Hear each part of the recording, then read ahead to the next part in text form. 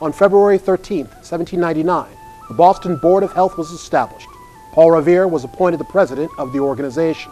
It is the highest public office he ever held. This Day in History brought to you by the Freedom Trail Foundation, partnered with the Massachusetts Teachers Association to bring history to life.